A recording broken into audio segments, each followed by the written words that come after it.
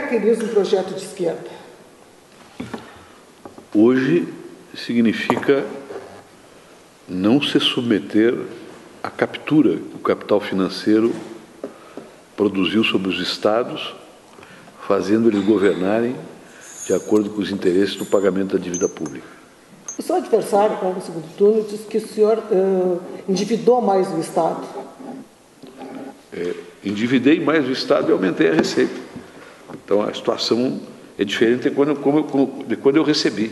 Né? Quando eu recebi, o Rio Grande do Sul né, tinha uma, uma, uma receita é, que crescia de maneira medíocre e uma dívida que crescia de maneira, de maneira exponencial.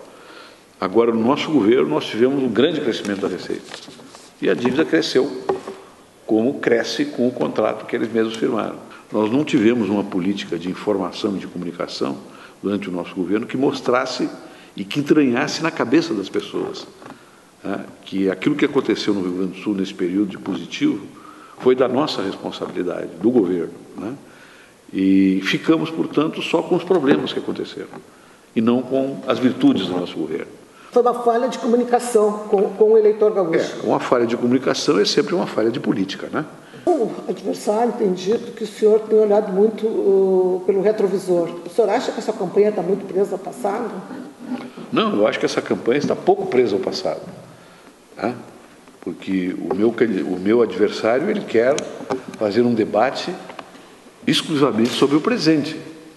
E ele o faz porque para ele é necessário omitir o caráter político da sua candidatura, os seus compromissos partidários e o que esses compromissos partidários fizeram para o Rio Grande naquele período. Nós temos uma massa de investimentos extraordinária.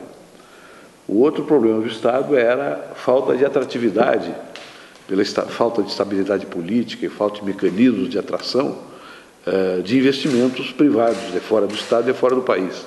Nunca tivemos uma massa de investimentos tão grande aqui no Estado.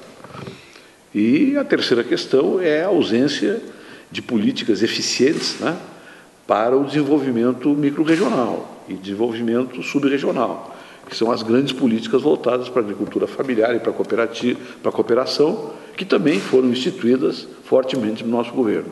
Então, eu diria, a única questão séria, né, que é difícil de enfrentar e que tem que ser enfrentada, é a questão da dívida. E é isso que eu estou dizendo ao povo gaúcho. Né?